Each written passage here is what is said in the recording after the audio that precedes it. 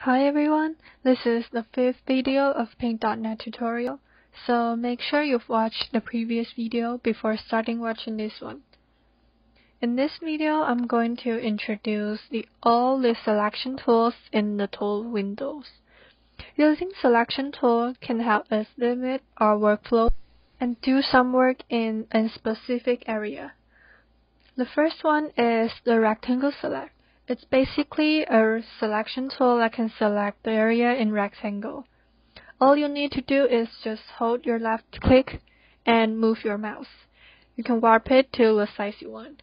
What's more, if you hold shift on your computer and then you warp it, it does a perfect square.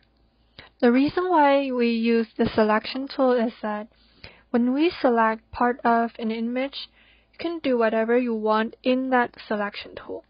For example, if I select an area and I use the paintbrush tool, I can only paint in the rectangle and I can't paint outside the rectangle. And if I hold the left click and move my mouse, it will only move the area I selected. By the way, if I hold shift then resize my selection, it will change my selection as the original aspect ratio.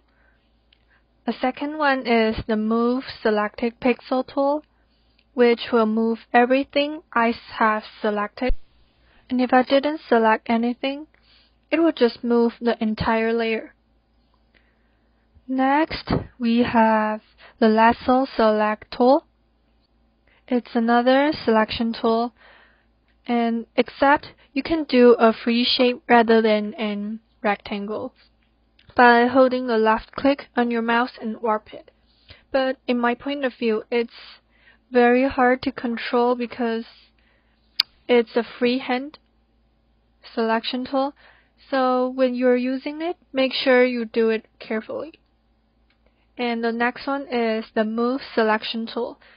And the difference between the Move Selection tool and the Move Pixel Selection tool is that the Move Selection tool moves the actual selection. For example, if I use the rectangle selection to select an area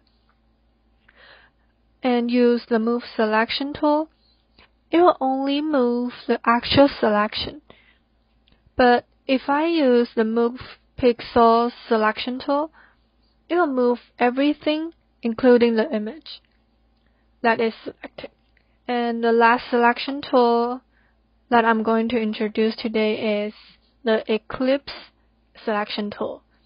It's another selection tool, but the difference is that when you warp it, it does a circle or like a round shape, and it's same as the other that if I hold shift and then warp it, it will thus a perfect circle. Last but not least, you can see a little hand icon here. It's a tool that can move the whole canvas. Yes, and this is the end of today's video.